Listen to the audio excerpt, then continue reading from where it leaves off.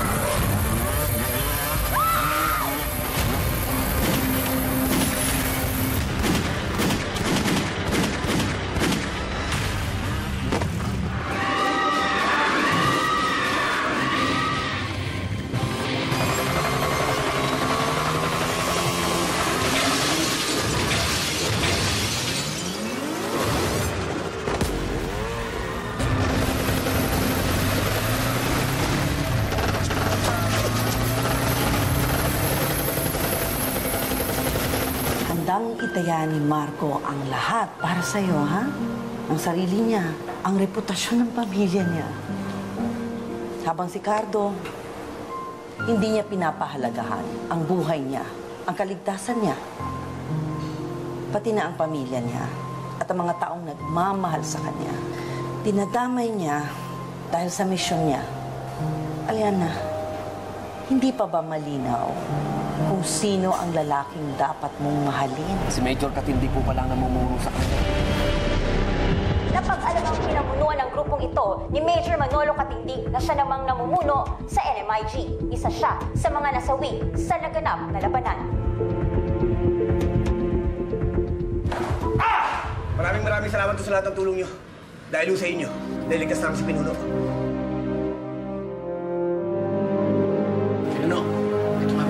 Kaibigan natin dito. Si Marigold, si Dahlia, si Blossom, si Yasmin, si Aling Becky, si Peng. Sila po yung mga kapitbahay natin dito. Huwag kayong magkalala, Pinuno. Pinapangako ko sa inyo, ligtas na ligtas kayo dito sa lugar namin. At simula ngayon, isang pamilya tayo dito. Utang ko ang buhay ko sa inyo lahat. Maraming salamat. Lalong-lalo na po sa anak niyo si Andy. Anong nalalaman ninyo? Bakit nagawa ni Katindig ito? Kung meron man kaming alam, hindi ko kailangan sabihin sa'yo. So may nalalaman nga kayo. Sabihin na lang natin na hindi namatay kasama ni Katindig ang mga sikretong alam niya. Liana, sinabi sa akin ni Mama na may kakausapin siya para mapabilis yung annulment mo. Bakit, Liana? Bakit parang di ka masaya? Ako kasi parang nabibilisan pa rin ako sa mga pangyayari. Hanggang ngayon. Di ba ito naman yung gusto mo? Yung mapabilis yung annulment mo? Yung makawala ka na kay Cardo? Na nagpunta po ako dito para sabihin sa inyo na ay naasikaso na po yung yung annulment po namin ni Cardo. Napakahirap. Hindi ko po alam kung, kung ano po yung sasabihin ko sa inyo. Yan. Kung ano yung inaakala mong tama, yan ang sundin mo. Yan. Walang makakapagdikta sa atin kung ano ang dapat nating maramdaman. Hindi ko po alam kung paano po humantong ang lahat sa ganito. Pero lahat napirmahan ko na po yung petisyon para sa annulment sa kasal namin ni Carto. Ifa-file na po yun sa korte at dito po ipapadala yung saman. Patay na si Lolo Homer. At pinaghahanap din kayo. Lalo kayong sasabit. Paano, sir? Didispatchahin niyo na kami. Sir, meron nung kami importanteng impormasyon na nakuha. Na-recover ang cellphone na yan sa gamit ni Major Katindig.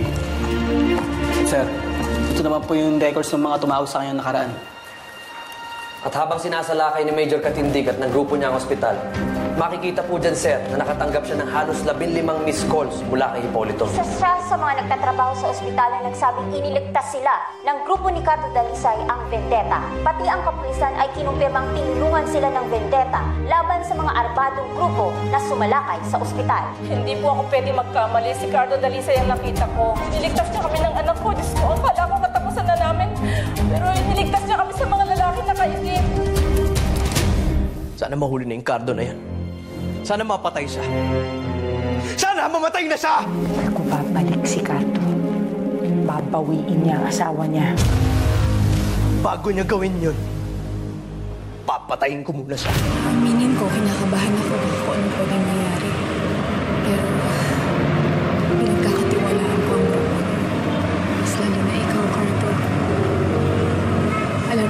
Ko magiging maayos din ang lahat.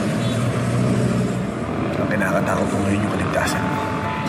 Dahil sigurado, pati ikaw ay dadamay nila. Andy,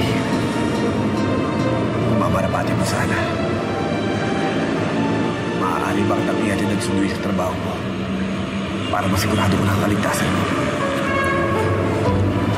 Ikaw bahala. Mga pulis tayo. May tungkulin tayong dapat gampanan.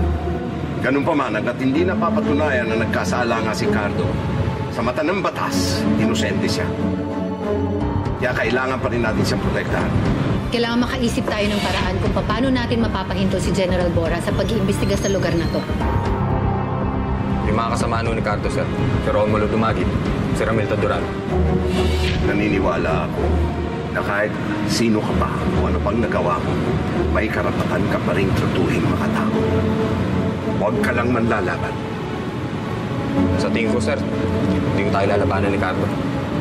Katulad na lang una nangyari sa ospital, sir. Tatakas ho siya pero hindi ho siya papatay ng kapwa niya polis. Kapo pulis? Yung pa rin ang tingin ko kay Cardo, sir. Ginagawa pa rin niya tungkulin niya. Bunso, naalala mo yung sinabi ko may surprise ako sa'yo? Opo. Ito na yun, ha? Ready ka na? Sobrang pinaghandaan ko to, Bunso. Ready ka na? Surprise mo? 马上为上面带来 vlog one two three let's go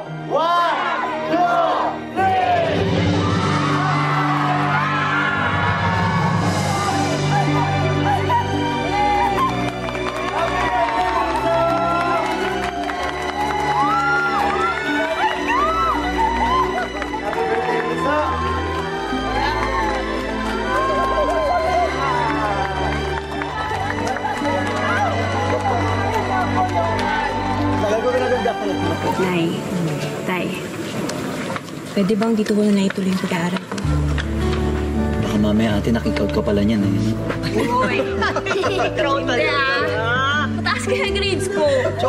Saka alam ko naman na din si Mr. Kat. Ito si Grace. Oo, First ma'am. honor. Yes. Kaya with honors din ako. Gusto ko lang po kasi maging proud kayo sa akin. Thank you. Sali ako. Pero, galing. Good job. I know. Hanggang ngayon, patuloy pa rin pinaghahanap ng mga otoridad ang leader ng pulang araw na si Romulo Dumagit matapos siyang itakas ng grupo ni Ricardo Dalisay na Vendetta. Kasabay nito ang muling pagtatangka sa buhay ni Dumagit habang nasa ospital sa kustodiya ng pulisya. Iniimbestigahan pa rin kung ano nga ba talaga ang motibo ni Major Manolo Katindig sa tangkang pagpatay kay Romulo Dumagit. Bagamat wala pang binibigay na detalye na pag-alamang may matindi pala siyang koneksyon kay Renato Hipolito na ngayon tumatakbo bilang senador. Dahil dito sinisimulan na rin siyang imbestigahan upang malaman kung may kinalaman man siya sa naturang pagsalakay. Diyan natin papasukin si Hipolito. Ibubulgar natin ang totoong pagkatao niya. At ang lahat ng mga kasama na ginagawa niya. Isisiwalat natin kung sino ang lahat ng mga koneksyon niya. Wala akong pakialam kung anong iniisip niyo tungkol sa akin. Wala naman kayong pruweba tungkol doon. Pero kami, meron kaming testimonyang pinangahawak. Bora, wala po kayong makukuha sa akin. Kaya kung wala na po kayong sasabihin, ay pwede na po kayong umalis.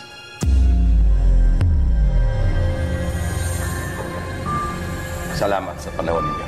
Thank you so much din po.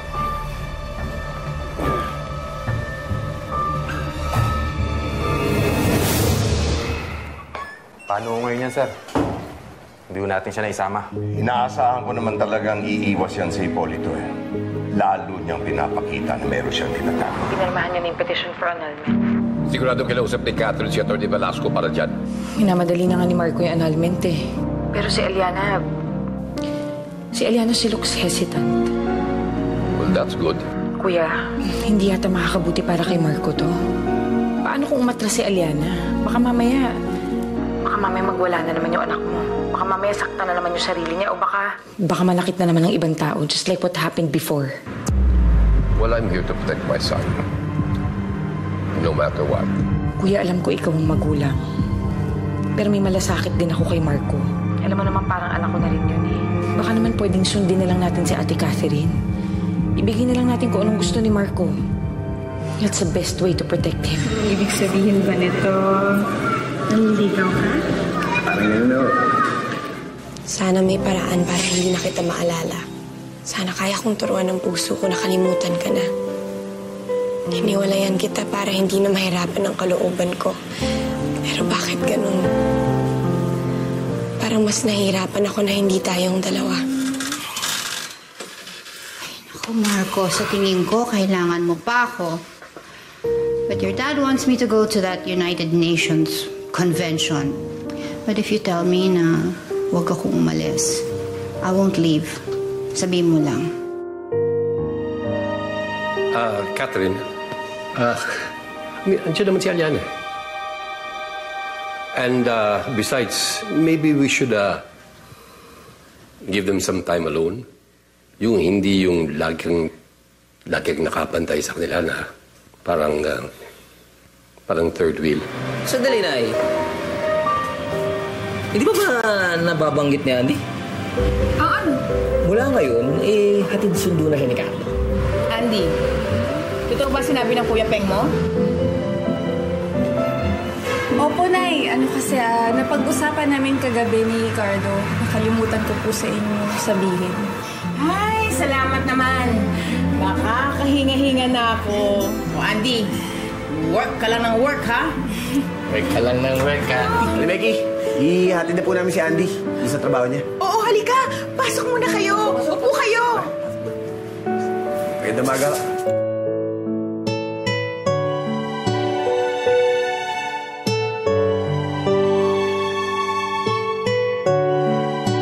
Ricardo, maraming maraming salamat sa lahat ng mga ginagawa mo para sa amin, ha? Aling Becky, huwag kayong mag-alala. Ikaw na rin naman ang nagsabi para tayong buong pamilya dito. Dito lang kami.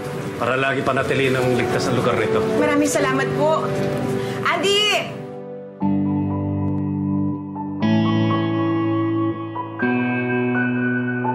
Meg, uy, hindi ba nasabay? Ay, hindi. Hindi na muna kasi magkaiba kami ng oras ng pasok ni Andy. Salamat. Cardo, hindi tayo pwede dyan sa harap ng hospital. Hindi na kami makakita sa inyo. Mas mabuti pa sa likod tayo dumaan. Tama si Andy, Carlo. Baka may mga nag-aabang sa atin dyan. Andy,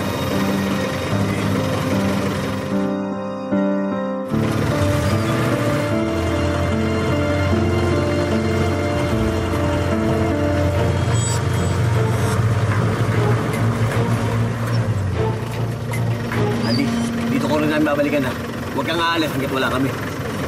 Lalas ka namin babalikan mamaya. Alas 8 na po dito. Maraming salamat.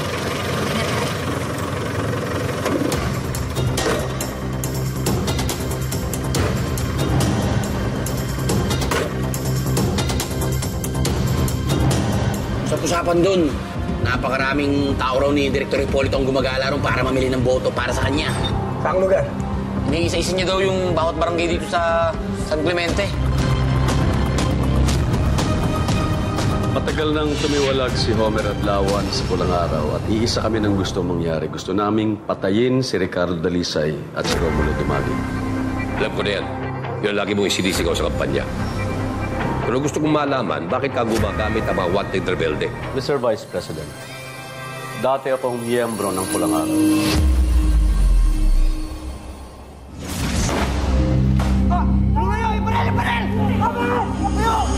Kababata ko si Romulo Dumagit, siya ang nagpasok sa akin sa samahan. Hindi kahit kita na sumali sa grupo na to, Renato. Magkababata tayo. Talik na magkaibigan. Pero siya ang ginawang pinuno.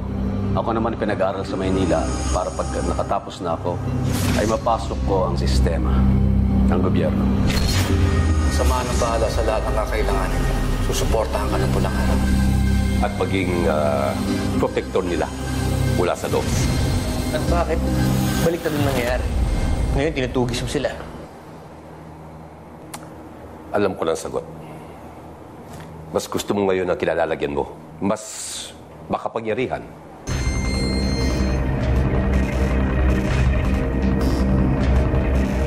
Matutulong kita sa ambisyon mo, Ipon.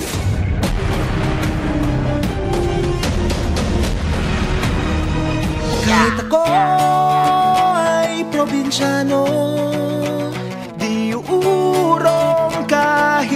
dehado Pag sumipat asintado